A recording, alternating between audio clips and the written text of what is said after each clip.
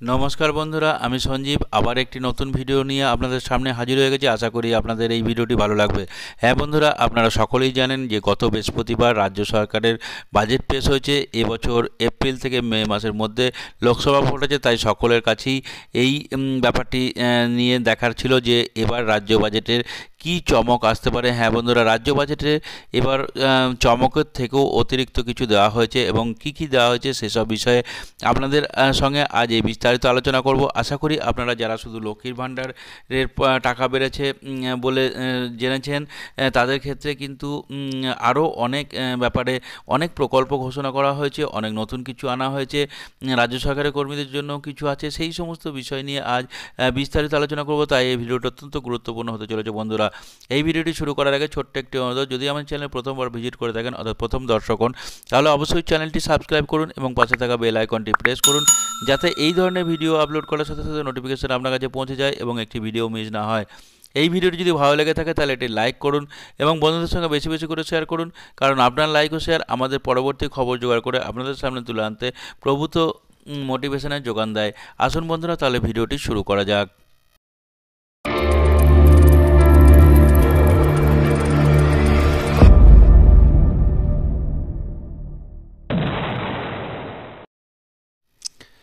লক্ষ্মীর ভাণ্ডারই শেষ নয়, আরও দশটি ঘোষণা হয়েছে রাজ্য বাজেটে। বৃহস্পতিবার আটই ফেব্রুয়ারি পশ্চিমবঙ্গ বিধানসভার রাজ্য বাজেট পেশ করেন অর্থমন্ত্রী, অর্থ প্রতিমন্ত্রী চন্দ্রিমা ভট্টাচার্য।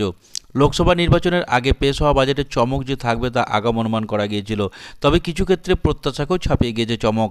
এই রাজ্য বাজেট দু হাজার প্রধান দশটি ঘোষণা বা দিক নির্দেশনা আপনাদের সামনে তুলে ধরলাম। লক্ষ্মীর ভাণ্ডার। বৃহস্পতিবার বিধানসভায় পেশ করে রাজ্য বাজেটের সবচেয়ে সারা ফেলা সিদ্ধান্ত বোধ হয় লক্ষ্মীর ভাণ্ডারের অনুদান বৃদ্ধির ঘোষণা। বাজেট বক্তৃতায় অর্থমন্ত্রী জানিয়েছেন, লক্ষ্মীর ভাণ্ডারের অনুদান দ্বিগুণ হতে, হয়ে যেতে চলেছে আগামী মে মাস থেকে। সাধারণ চাহিদার, সাধারণ শ্রেণির মহিলারা পাঁচশো টাকার পরিবর্তে এক হাজার টাকা করে ভাতা পাবেন আর এসসি এসটি মহিলারা এক হাজার টাকার পরিবর্তে বারোশো টাকা করে ভাতা পাবেন। রাজ্যের প্রায় দু কোটি এগারো লক্ষ মহিলা লক্ষ্মীর ভাণ্ডারের অনুদান জানিয়েছেন মর্গ ভাতা বা ডিএ বৃদ্ধি। কেন্দ্রীয় হারে ডিএ দেওয়ার দাবিতে এখনও কলকাতার রাজপথে বসে সরকারি কর্মচারীদের একাংশ সেই ঘোষণা থাকল রাজ্য বাজেটে। আন্দোলনত কর্মী, সরকারি কর্মীদের দাবি পুরোপুরি পূরণ না হলেও রাজ্য সরকার একই বছরে দ্বিতীয়বার ডিএ বাড়ালো। ঘোষণা করা হয়েছে, আগামী মে মাস থেকে আরও চার শতাংশ ডিএ পাবেন পশ্চিমবঙ্গের সরকারের কর্মীরা। এই ঘোষণার পর কেন্দ্রের সঙ্গে রাজ্য সরকারি কর্মীদের মহার্ঘ ভাতার ফারাক কমে হলো বত্রিশ শতাংশ। কর্মশ্রী প্রকল্প। এই মুহূর্তে একশো দিনে প্রকল্পের বকেয়া টাকা নিয়ে উত্তপ্ত রাজ্য রাজনীতি। কেন্দ্রের বিরুদ্ধে গরিব মানুষের টাকা না দেওয়ার অভিযোগ তুলেছে তৃণমূল। পাল্টা বিজেপির বক্তব্য, দ, একশো দিনের প্রকল্পে ব্যাপক দুর্নীতি হয়েছে। এই বিতর্কের মধ্যেই কেন্দ্রীয় সরকারের প্রকল্পের পাল্টা ঘোষণা থাকল রাজ্য বাজেটে। অর্থমন্ত্রী বাজেটে বক্তৃতায় কর্মশ্রী প্রকল্পের কথা ঘোষণা করেন। এর মাধ্যমে বছরে গরিব মানুষদের পঞ্চাশ দিন কাজের নিশ্চয়তা দিয়েছে রাজ্য সরকার। সিভিক ভলেন্টিয়ারদের ভাতা বৃদ্ধি।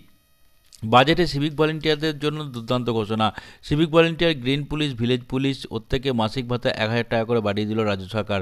সেই সঙ্গে সিভিক ভলেন্টিয়ার থেকে সরকারি পুলিশের চাকরি পাওয়ার সুযোগও বাড়ল।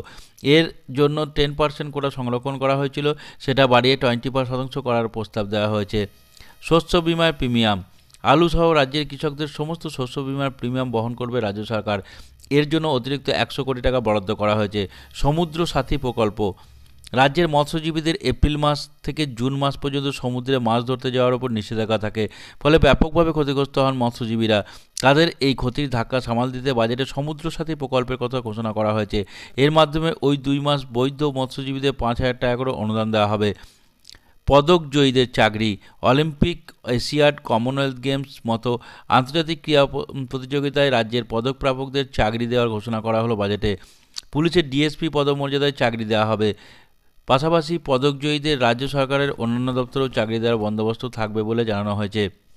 সেতু বাজেটে রাস্তাঘাট নির্মাণের ওপর জোর দেওয়া হয়েছে। গঙ্গাসাগর সেতু শহরের নতুন ওড়ারপুরের ঘোষণার পাশাপাশি পথশ্রী থ্রি প্রকল্পের কথা উল্লেখ করা হয়েছে। কর মুকুবের সুযোগ, বকেয়া কর আদায়ের লক্ষ্যে আমজনতাকে বিশেষ সুযোগ দিতে চলেছে রাজ্য সরকার। অর্থমন্ত্রী ঘোষণা করে জানিয়েছেন, রেজিস্টার্ড গাড়ির মালিকদের থেকে কম হারের লাইফ টাইম ট্যাক্স নেওয়া হবে। এছাড়াও হোটেল রেস্তোরাঁর পুরনো যে লাক্সারি ট্যাক্স বাকি আছে, তার উপর জরিমানা সুদ দিতে হবে না।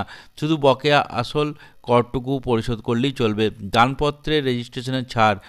সম্পত্তির দানপত্রের রেজিস্ট্রেশনে এতদিন জিরো পয়েন্ট পাঁচ শতাংশ কর নেওয়া হতো। তবে রাজ্যবাসীকে স্বস্তি দিয়ে এবার দানপত্র রেজিস্ট্রেশনের ক্ষেত্রে ফ্ল্যাট এক হাজার টাকা কর দিলেই হবে বলে বাজেটে ঘোষণা করা হয়েছে। তো বন্ধুরা, এই ছিল পশ্চিমবঙ্গ সরকারের বাজেটের যে বিশেষ বিশেষ কিছু দিক, আমরা আপনাদের সামনে তুলে ধরলাম। এই ভিডিওটি আপনাদের কেমন লাগল, এই ভিডিওর কমেন্ট বক্সে অবশ্যই কমেন্ট করবেন। আজ এখানেই শেষ করছি। নমস্কার, জয় হিন্দ।